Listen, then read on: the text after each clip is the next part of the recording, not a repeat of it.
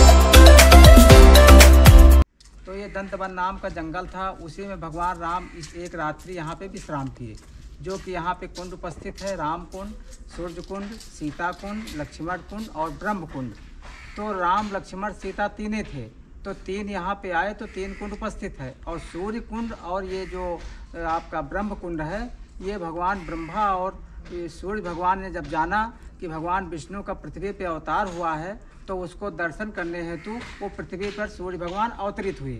जैसे ही पृथ्वी पर वो चरण को रखे, तैसे सूर्य भगवान की ज्वाला माँ पृथ्वी न सह सकी और पैर रखने के साथ में वो उबल पड़ी। उबल पड़ी तो वो फूट गई। फूट गई तो ज्वालामुखी निकलने लगा। उससे वो सूर्य कुंड हुआ।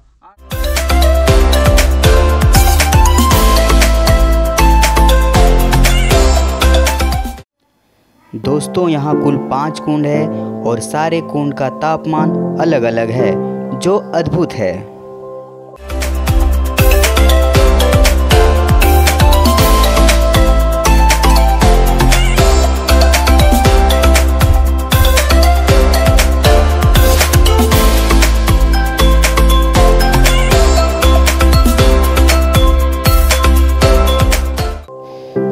दोस्तों यह सूर्य कुंड है, जो यहाँ का मुख्य कुंड है, और इस कुंड का तापमान लगभग नवासी डिग्री सेल्सियस है।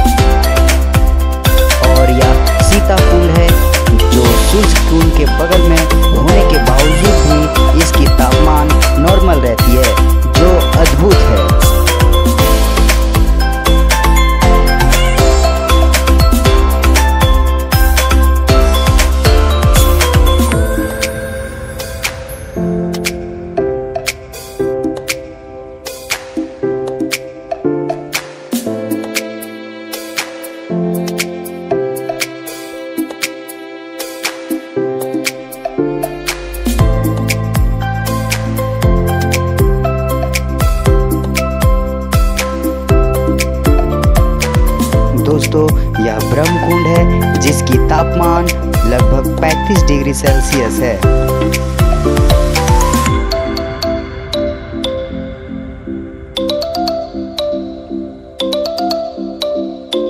और यह लक्ष्मण कुंड है जिसकी तापमान 45 डिग्री सेल्सियस है।